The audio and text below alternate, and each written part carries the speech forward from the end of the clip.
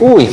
Va a estar interesante. Yo creo que van a empatar, pero va a ser un empate con goles y va a ser un empate con dos equipos que van a proponer mucho en la ofensiva. Tanto William Rendero de Cigareta como también el entrenador que ha llegado, Zamora. Julio Zamora. Julio Zamora en Isidro Metapán. Eh, tienen propuesta de ataque, eh, vierten mucho en la ofensiva, en el caso de Metapán también con Gregory Díaz, no sé cómo estará físicamente porque como que ha tenido algunos problemas en lo muscular en los últimos partidos, y en el caso de Municipal Limeño, aparte de lo de Gilberto Baires, también tiene mucha movilidad. Yair Delgadillo es el máximo goleador del campeonato con cinco tantos, eh, junto con Luis Ángel Landín, son los que están aportando la cuota de gol en el cuadro cuchero, pero Landín es más estático y Delgadillo es mucho más movidizo, más inquieto contra los defensas rivales. Yo creo que si van a empatar va a ser con varios goles, porque lo van a terminar exigiendo a la defensa, aunque en ese apartado, y Mauricio lo sabe bien, porque lo ha visto más de cerca en el Calero Suárez,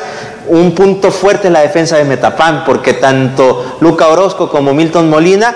eh, todas las pelotas que llegan por aire las terminan despejando y es uno de los puntos más fuertes que Lo que pasa es que también